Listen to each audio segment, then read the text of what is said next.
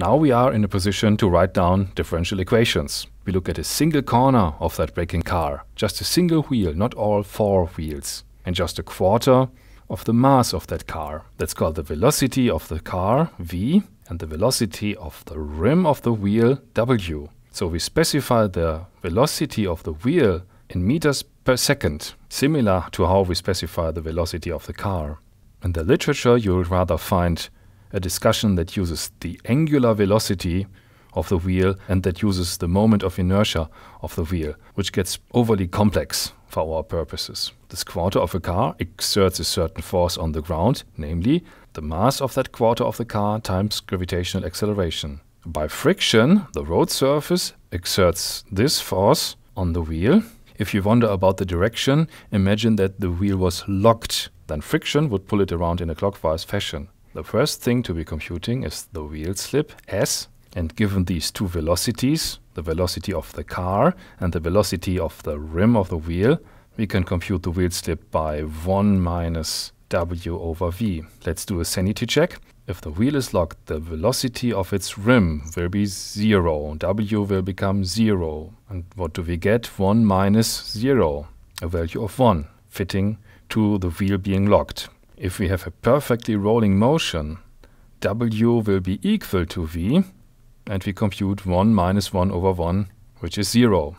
So this seems to be very plausible.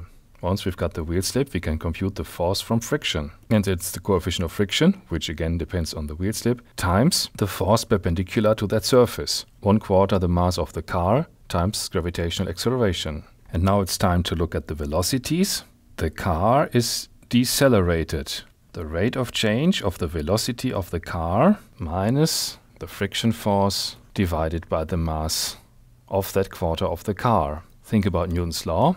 Force equals mass times acceleration. The rate of change of the velocity is the acceleration. This is our force, this is our mass, and we have to take care of that we are braking, decelerating. We get a similar equation for the velocity of the rim of the wheel. Its rate of change increases through friction so we've got a plus sign now. The mass to be used here is not the mass of this quarter of the car. It's rather something like the effective mass of the wheel. In reality, we would have to take care of the circumstance that the mass of the wheel is distributed over the cylinder.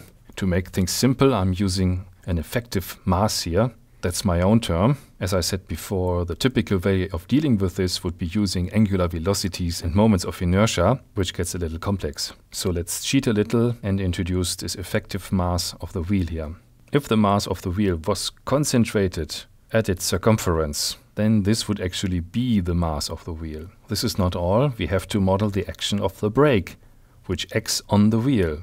The brake decelerates the wheel. Let me put it like that minus a capital B. And this quantity B represents the strength of that braking process. If you put it like this, it acts like a deceleration of the wheel, so it's something measured in meters per second squared. If it wasn't for the friction force, the wheel would be decelerated by this amount. So now we have reached four equations that describe the process of braking.